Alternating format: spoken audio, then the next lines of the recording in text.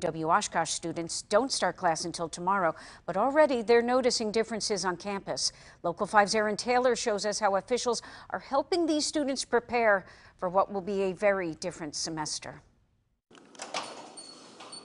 Some students may have been here, you know, it's coming up on a week, and others just got here, you know, and we still have folks trickling in. trickling into a brand new reality on the UW Oshkosh campus. The cornerstone of what we do in the residence halls revolves around meaningful interactions, engaging people, getting people to have um, interactions that have some meaning and depth behind them.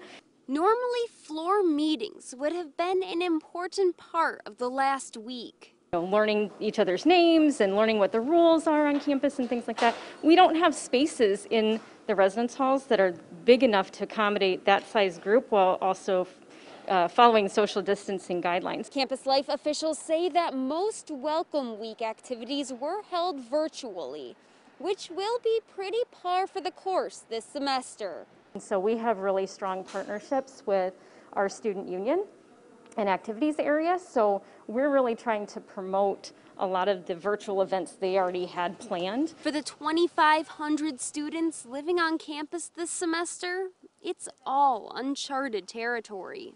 I think the big thing has been just really good communication with students and letting them know, you know, hey, things are going to be different. But this is what they've been getting ready for. That's what this summer has really been is thinking outside the box and not getting into, you know, how we did something before. And In Oshkosh, Erinn Taylor, Local 5 News.